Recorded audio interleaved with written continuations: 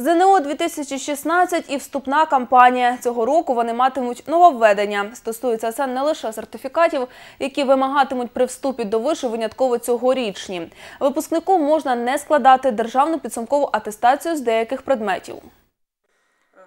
З предметів української мови та літератури, зокрема в пункті українська мова, що вже було зазначено, з історії та математики, випускникам загальноосвітніх навчальних закладів 2016 року ці предмети зараховуються як оцінка з державної підсумкової атестації. Відсутні завдання ускладненого рівня в цьому році.